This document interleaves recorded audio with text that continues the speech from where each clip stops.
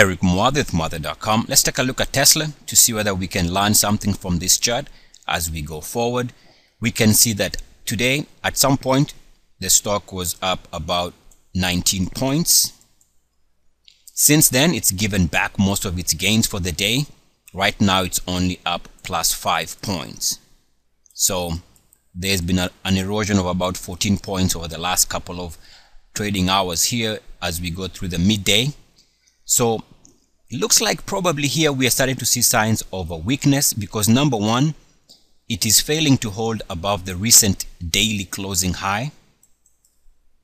And so the breakout here on a daily basis is failing. The level there that the stock needed to hold above was 238.32, which is the recent daily closing high there. We also failed to move and stay and hold above the 2000 December 2015 closing high on a daily basis. So that is at 240.01 so we can conclude here that simply if the stock is to do well in the current market environment it needs to be above those two daily closing highs. Either the daily closing high from about a week ago at 238.30 or above December's daily closing high. So right now we did move above that intraday, but we are back below that, which is net net a sign of a stock that is losing momentum. In fact, if you take a look at the hourly chart, you can see negative divergence because we've made a slight higher high in price. And yet, as of right now, we can take a look at the RSI, which has not moved above 61.8.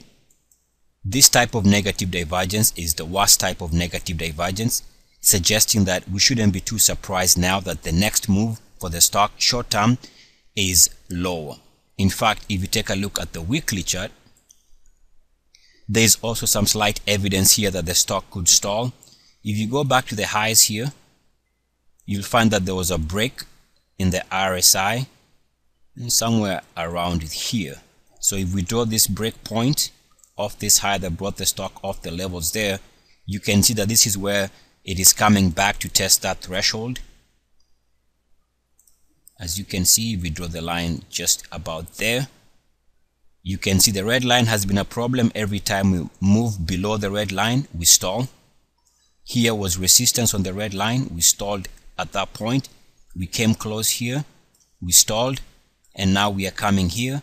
And potentially potentially we could be setting up to form a double top which would suggest that around here is where one can expect also the weekly chart to show resistance. So if the bulls want to take control of this and move it higher then clearly we need to move above the daily closing highs of 238 and 240 and we also need to see that the weekly chart clears this red line.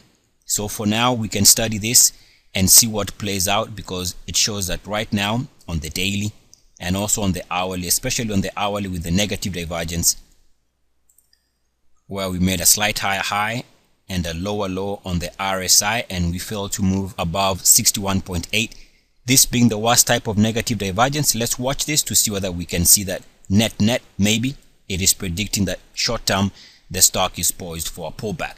Eric Muathe, Muathe.com as always good luck peace and blessings. E, a C, S. Mwah.